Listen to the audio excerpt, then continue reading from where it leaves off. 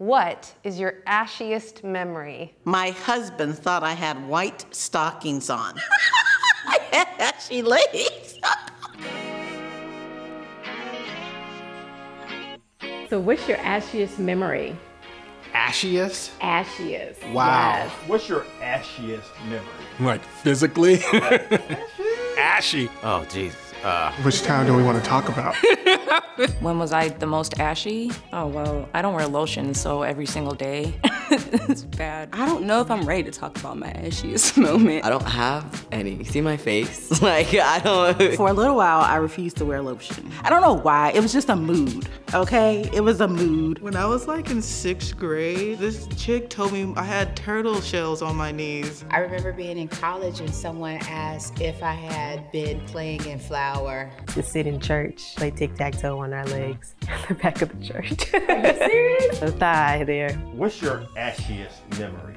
Ashiest. Ashy. Ashiest memory. Oh. Oh, I'm so embarrassed.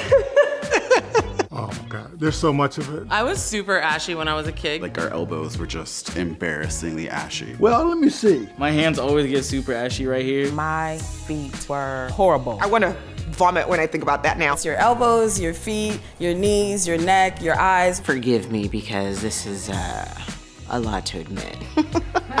I think my ashiest memory is elementary school. And I was like, yeah, before you take those pictures, if you could not get my ankles, that would be great. I had to pull out my lip balm and fix up my ankles. I look around, make sure there's no black people who saw me. What is your ashiest memory? Like literally ashy? I have a whole pile of memories. Maybe I blocked it out. Maybe I just blocked it out of my memory. Tell me about a time you were called out for being ashy. Today, I called myself out before I walked into these doors. That's so real. And when I grew up in Trinidad on the island, my skin was always beautiful. And then I came to the States to go to school.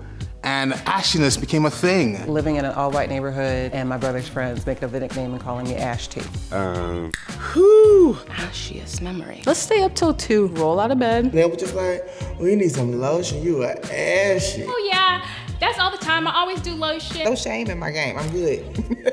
All right, so what's your ashiest memory? When I lived in New York once, a white woman sitting next to me offered me some lotion. I was so discombobulated, I just thought, what does this mean? And I became very self-conscious about my elbows after that. Man, if I feel ashy, how must I look? What's your ashiest memory? What's my what? Uh. We Southern, you can't be ashy. You know, the old people will snatch you up and lather you down, hit you with a little spit. My dad used to do that all the time. I know black people do this. We don't talk about it, but like everybody has put spit on their like legs and knees. I'm not gonna feel ashamed about that. Probably happened in elementary. First and second grade. Third grade. Fourth grade. A kid came up to me and rubbed my head and then rubbed my knees. The idea being that your hair has some like hair grease on it that your knees need. Is this a friend? Was this? No, this was a random child. Yes. What is your ashiest moment? Ashiest? My what? Ashiest memory. Oh my God. You asking some hard questions here. So what's your ashiest memory? Woo! Ashy?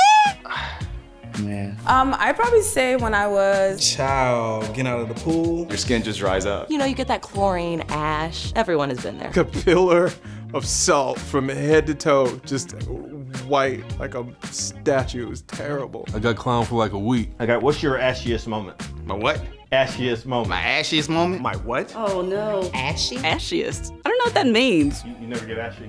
Mm-mm. You know, I don't get ashy. I don't get ashy. You ain't never ashy. You only had one chance to be ashy with my mother. My mother did not believe in that. She said lotion was uh, affordable. Make sure you put it on, and if you didn't have that, Vaseline might do. Do you have any philosophies on moisturizing? Shea butter, honey. Can I get some cocoa butter? Because I forgot to lotion my legs. Because my mother used to like grease me up in oil, like actual oil. Like here. I grew up in a single parent household, and my mother was always very particular about how my brother and I looked. Don't no woman want no stinking.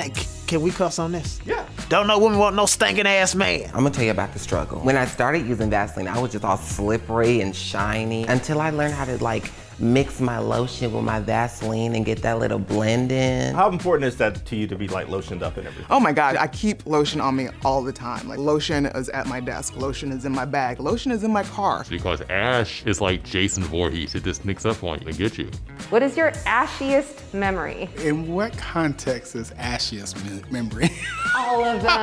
ashy like my skin or ashy dealing with someone who has a specific viewpoint?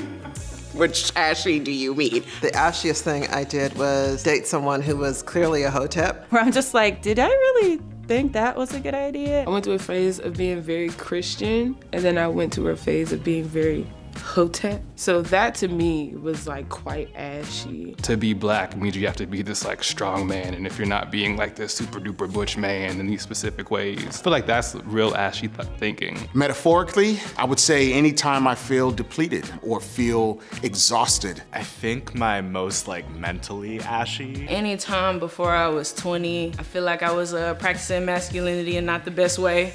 So I feel like that's particularly ashy. I was in the third grade. There was this girl who was shooting basketball. She was like, I challenge you one on one and we'll play to 10. And if I win, you owe me five bucks. I'm thinking, oh, she can't beat me because I'm a boy, right? And then she beat me 10 to 1.